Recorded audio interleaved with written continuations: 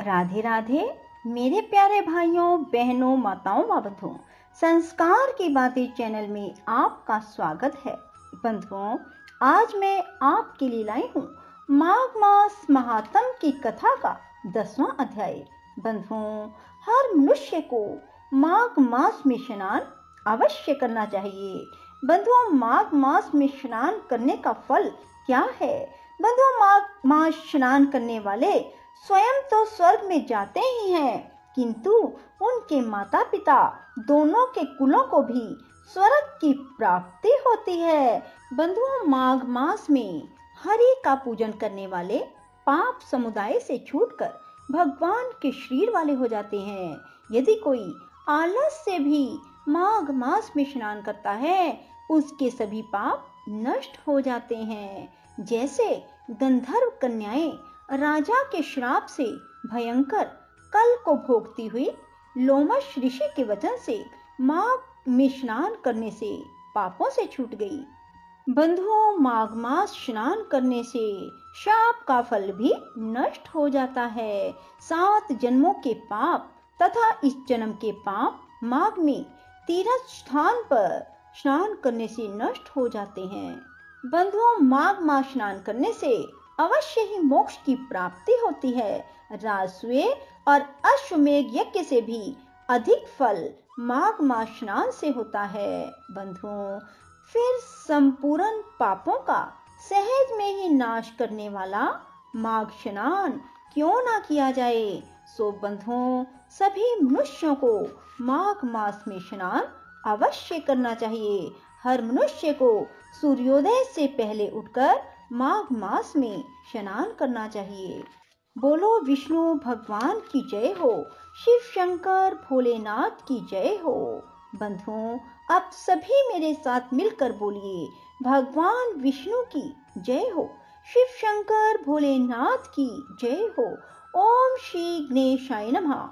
यमदूत कहने लगे, हे वैश्य, एक बार भी गंगा जी में स्नान करने से मनुष्य सब पापों से छूटकर अत्यंत शुद्ध हो जाता है। जो गंगा जी को दूसरे तीर्थों के समान समझता है, वह अवश्य नरक में जाता है। भगवान के चरणों से उत्पन्न हुई गंगा जी के पवित्र जल को श्री शिव जी अपने मस्तक में धारण करते हैं। वह ब्रह्मा, जो संदेह रहित, प्रकृति से अलग और निर्गुण है, ब्रह्मांड में उसकी समानता किससे हो सकती है? गंगा जी का नाम हज़ारों योजन दूर से ही लेने वाला नरक में नहीं जाता। इसलिए मनुष्य को अवश्य में गंगा जी में स्नान करना चाहिए।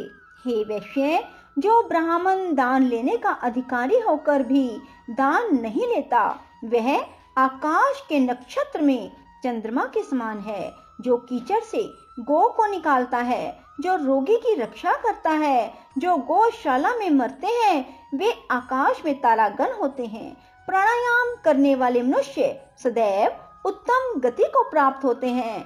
प्रातः समय स्नान के पश्चात जो सोलह प्राणायाम करते हैं, वह घोर पापों से बच जाते हैं। जो प्रायी स्त्री को माता समान मानते हैं, वह यम की यातना को नहीं भोगते।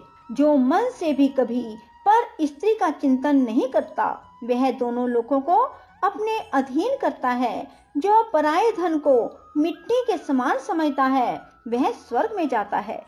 जिसने क्रोध को जीत लिया, मानो उसने स्वर्ग को जीत लिया। जो माता पिता की सेवा देवता तुल्य करता है, वह यम द्वार नहीं देखता। जो गुरु की सेवा करते हैं, वह ब्रह्मलोक को प्राप्त होते हैं।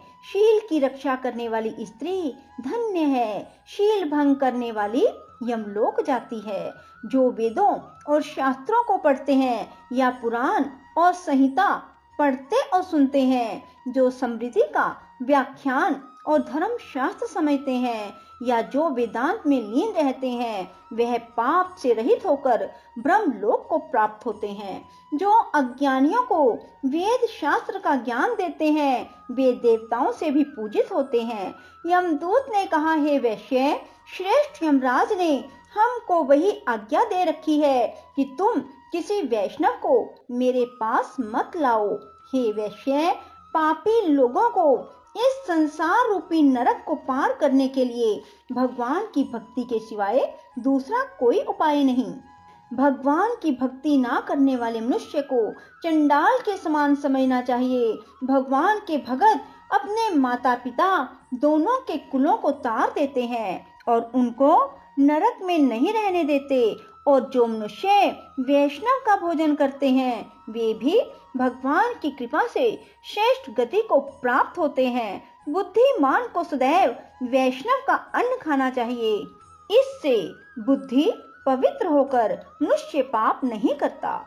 गोविंदाय नमः। इस मंत्र का जाप करता हुआ जो मनुष्य मृत्यु को प्राप्त होता है, वह परम धाम को प्राप्त होता है। इसमें कोई संदेह नहीं। जो मनुष्य भगवान विष्णु के मंत्र का जाप करता है, उसके ब्रह्म इत्यादि बड़े बड़े पाप नष्ट हो जाते हैं। भजमन नारायण नारायण हरि हरि। भजमन नारायण नारायण हरि हरि। भजमन नारायण नारायण भजमन नारायण नारायण, हरि हरि। भजमन नारायण नारायण, हरि हरि। भजमन नारायण नारायण, हरि हरि। भजमन नारायण नारायण, हरि हरि। भजमन नारायण नारायण, हरि। भजमन नारायण नारायण हरि हरि। भजमन नारायण नारायण हरि हरि।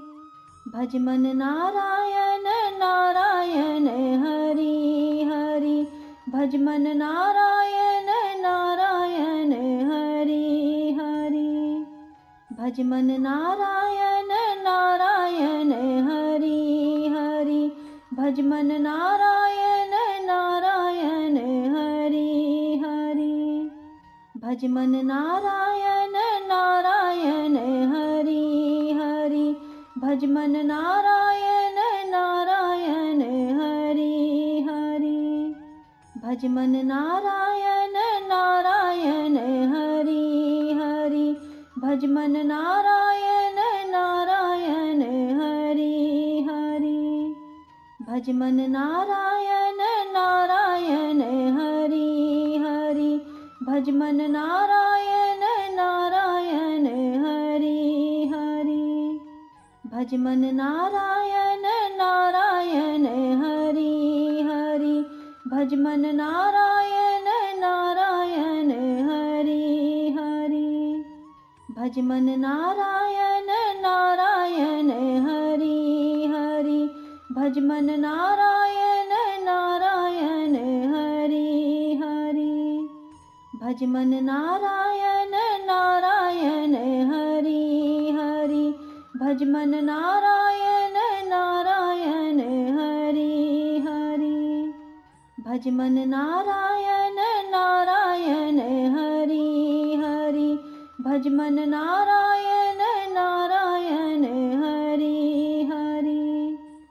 भजमन नारायण नारायण हरि हरि।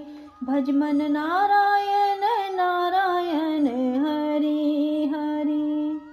भजमन नारायण नारायण हरि हरि।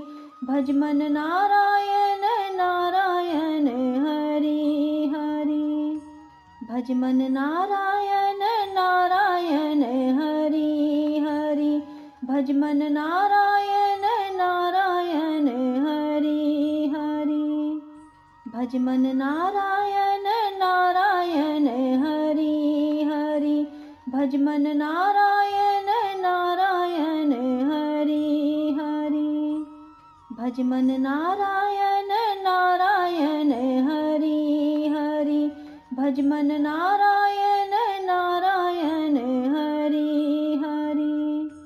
भजमन नारायण नारायण हरि हरि। भजमन नारायण नारायण हरि हरि। भजमन नारायण नारायण हरि हरि। भजमन नारायण नारायण हरि हरि। राधे राधे, जय श्री कृष्णा। बंधुओं, यदि आपको हमारी वीडियो पसंद आए तो इसे लाइक करें और शेयर भी ज़रूर करें। धन्यवाद।